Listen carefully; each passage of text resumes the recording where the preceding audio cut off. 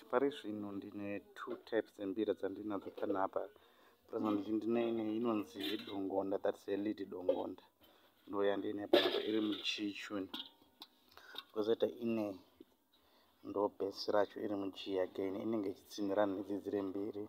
Saka ndichatanga kuplaya the lead part ine yacho. Kunza kuti inenge ichirira sei inenge ichinzi dongonda lead dongonda ndokutanga playa iyo yacho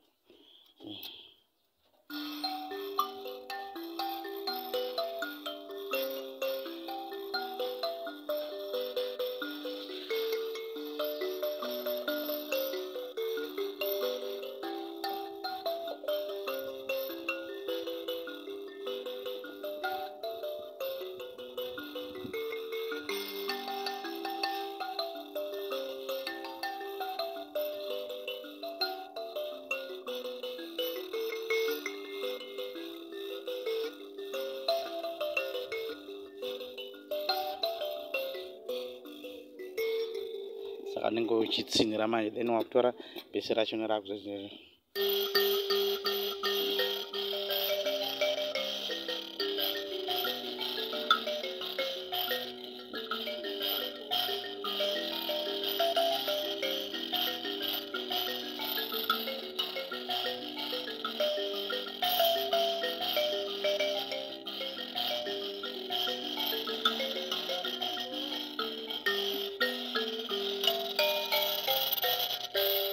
sando presently mbira mbiri dzandinadzo idzodzi then pane zoita inonzi vembe inobuda futi kubva pabhesi iro riri.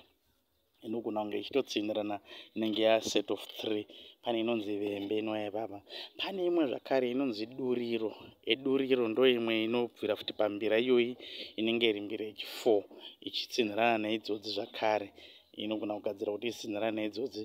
Kana uchida unogona kuita futi kalid kari pamusoro kari muchuni yeduriro racho neyo inopindirana saka paimbira imwe chete seti imwe chete so kana kuti chuni imwe chete unoona kuburitsa seti yembira dzinosvika kana ku15 but dziri dzakasiyana siyana mugadziro wadzo asi dzichipindirana pakurira zvokuti dzinokwanisa kuzoburitsa saundi yakaurungana.